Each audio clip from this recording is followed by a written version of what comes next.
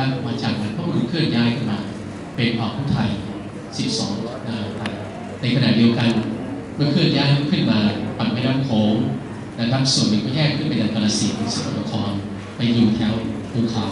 อีกส่วนหนึ่งก็มาตั้งหลักปักแหล่งอยู่ที่เขตริมนครโดยการข้ามมาจากบ้านท่าน้อย แล้วก็เลยขึ้นมาที่นี่มีบ้านหนึ่งเรียกว่าบ้านดงเอก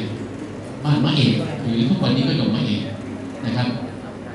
ซึ่งเป็นโนนก็เพื่อความปลอดภัยเพราะก่อนน้ำมันท่วมนะครับบรรพบุรุษก็โยกย้ายขึ้นมามาตั้งที่สูงๆขึ้นหน่อย ก็ขยับมาที่ตั้งตรงนี้คือเมืองเวงเพราะฉะนั้นเรนุนครนั้นเพิ่งมาปรีเมื่อสมัยรัชกาลที่สามหลังจากที่ท่านเสด็จแปลพระราชทานนะครับแปลพระราชเกี่ยวกับพระราชเสด็จของเมืองทางเหนือมาแล้วมาเห็นที่หนองล่าดมาเจอหนองดอกบัว ซึ่งเป็นดอกไม้ ในขณะนั้นก็เลยเปลี่ยน ชื่อให้ว่าจากเมืองเวมาเป็นเรนุนครก็คือเมืองแห่งดอกไม้ แต่ท่านเข้ามาในเรนุนครอาจะไม่ได้เห็นดอกไม้ที่จริงก็คือดอกบัวนะครับ แต่ว่าถ้าไปหนองลาดก็จะมีก็ไม่ได้ห่างไกลจากที่นี่นะครับ อยู่ใกล้ๆและที่ที่มาของเรนุนครบังเอิญว่าเรนุนครเป็นชนเผ่าอุทัยในเขตพื้นที่ของอำเภอเรนุนคร90หมู่บ้านนะครับแปดอบตหนึ่งเทศบาล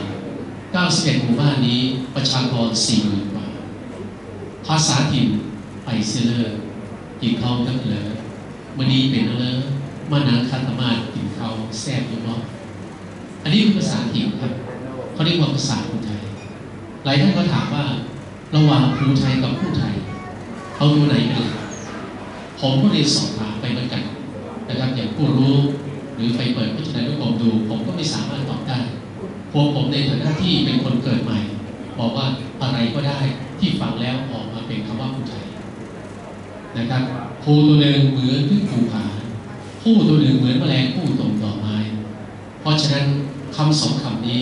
มีความหมายให้แก่พวกเราเท่านั้น เราก็เลยบอกว่าถ้าจะเรียกเขียนยังไงพวกเราก็อ่านอย่างนั้น แล้วก็ใช้ชื่ออย่างนั้นคือจึงเป็นเรนูผู้ไทยทุกวันนี้ และสำคัญไปกว่านั้นก็คือที่เรนูนครนั้น ก็ถือว่าเป็นจุดหนึ่ง เรามีโอกาสได้ต้อนรับคณะอาจารย์ตุการผู้มาเยือนโดยเฉพาะที่เรนูนครท่านเข้ามาเรนูนครนั้น เราที่นี่เรามีจุดแข็งแม้จะทำไปสมอต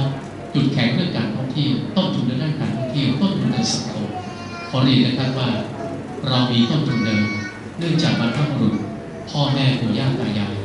ท่านได้บอกพวกเราพวกผมอยู่ตลอดเวลาว่า เราจงรักถิ่นเกิดเราจงทำให้บ้านเกิดเพราะเรามีความสุข คืออยู่ที่ความรักสมัครสมานสามัคคี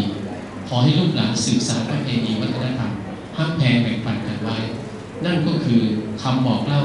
จากบรรพบุรุษจนถึงปัจจุบัน พวกผมมีหน้าที่ในการสืบสานประเพณีวัฒนธรรม มีหน้าที่ในการที่จะอนุรักษ์วัฒนธรรมไว้รุ่นต่อรุ่น รุ่นต่อรุ่นต่อต่อกันไป เพราะฉะนั้นเทศกาลต่างๆ ก็จะมีกิจกรรมการแสดงออกของประเพณีวัฒนธรรมของชาวผู้ไทย เรามีสิ่งหนึ่งที่ควรค่าในการกราบไหว้ของชาวผู้ไทยในรุ่นของซึ่งที่ดิบิทัศน์ท่านดูไปแล้ว เขาเรียกว่าสารปู่ทลา ตรงนั้นเป็นจิตวิญญาณนะครับ ถ้าลูกหลานผู้ไทยถ้าไปอยู่ต่างจังหวัด ถ้ากลับมาจะต้องไปกราบไหว้ท่านก่อน จะต้องไปกราบไหว้ท่านก่อน แล้วค่อยมาที่องค์พระธาตุนั่นคือทางด้านจิตวิญญาณเขาเรียกว่าหอปู่หรือสารปู่ทลา ทุกวันนี้นะครับก็เป็น ที่เคารพสักการะกราบไหว้ของลูกหลานชาวผู้ไทยทั่วไป และพี่น้องผู้มีจิตศรัทธาอย่างมากพอสมควรนั่นเป็นสิ่งหนึ่งในสถานที่ที่พวกเราชาวเรนนครเคารพกราบไหว้บูชา